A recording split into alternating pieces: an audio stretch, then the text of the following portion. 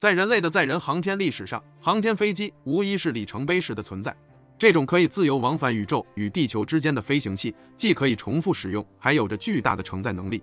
理论上可以重复使用一百次，还可以运载三十吨左右的货物上天，并运回十几吨的货物回来，每次还可以带上三到七个人。这对空间站的对接、停靠、执行人员和货物运送等任务都有着巨大的优势。可是突然之间，航天飞机好像消失在了历史里，没有再使用过，这是为啥？在耗资巨大的阿波罗登月计划结束之际，NASA 还没有从探索太空的热情中走出来。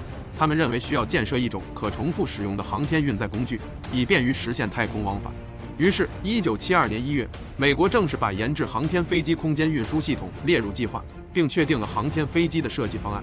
四十年前，美国成功发射了世界上第一架航天飞机，名字叫哥伦比亚号。十八米长的机舱能装运三十六吨货物，二十四米的翼展。五十四米的总长度，外形看起来就像普通的三角翼飞机。一九八一年四月十二日，两位宇航员驾驶着这人类历史上最复杂的飞船开始飞行测试，航行了五十四小时，绕着地球飞了三十七圈后顺利着陆。这也被 NASA 称为历史上最大胆的试飞。哥伦比亚号一共执行了二十八次航天任务，运输宇航员一百二十人次。此后，NASA 潜心研制新款航天飞机，试图将宇宙航行变成像上下班坐地铁一样简单。第二架航天飞机叫挑战者号，一九八三年四月四日正式进行任务首航。第三架航天飞机名字叫发现号，于一九八四年八月三十日进行了首度飞行。一九九零年，发现号把哈勃望远镜送上了太空，这是迄今为止人类历史上最重要的科学项目。一九八五年十月三日，第四架航天飞机亚特兰蒂斯号首飞，并执行了重要的飞行任务，将两颗国防通信卫星送入地球同步轨道。一九九二年五月七日，奋进号执行了首飞任务，这也是美国最后一架服役的航天飞机。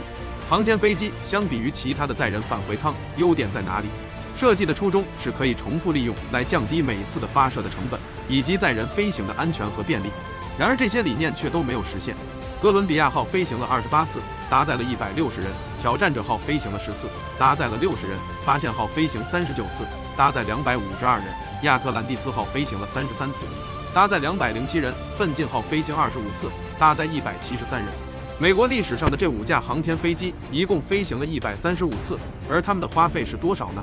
超过两千亿美元，平均下来每次飞行要花费十五亿美元。这是 NASA 一整年的航天预算，成本超高的主要原因在于回收的成本大大超出了计划。原来以为单次花费六千万美元就可以完成回收及各项维护，实际上由于航天飞机的超过两百五十万个零件过于复杂。每次回收成本都在四到五亿美元，是计划的十倍。价格贵是一方面，另一个更重要的原因就是安全性实在不高。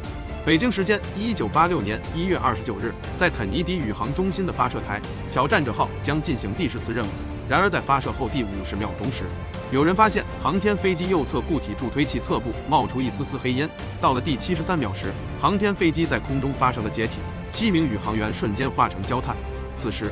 全美的学生们都在观看着全程的视频直播。二零零三年二月一日，哥伦比亚号在德克萨斯与路易斯安那上空载入大气层，这是它的第二十八次飞行任务。前二十七次的成功已经让机组人员对这架庞然大物无比熟悉。然而灾难就在不经意间发生，在飞行过程中，它的外挂燃料箱隔热泡沫脱落，这块仅仅只有零点七七千克的保温材料，还是在哥伦比亚左翼防热瓦上砸了个小洞。哥伦比亚号带着这个洞在太空飞行了十六天后。在降落时与大气层摩擦，此时巨大热量透过这个伤口进入机体，引起爆炸。飞机上的七名宇航员无一生还。这两次载入史册的航天事故，对正在蓬勃发展的美国航天事业造成沉重打击，一度停飞数年。二零零四年，时任美国总统的布什发表演讲，正式宣布航天飞机将在二零一零年停飞。二零一零年九月，美国航天飞机进行了最后一次飞行之后，美国的航天飞机时代正式结束。挑战者号升空失事，哥伦比亚号载入失事，十四名航天精英血洒太空，航天飞机从此气势尽。回过头来再看中国，在坚定搞宇宙飞船的正确技术路线下，中国的神舟系列载人飞船接连成功，令世界称赞。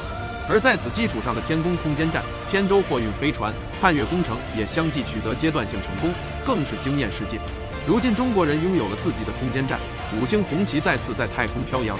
盼望英雄的航天员们在圆满完成祖国使命的同时，平安归来，接受祖国人民的热烈欢迎。给我国航天科技点赞，给宇航英雄点赞。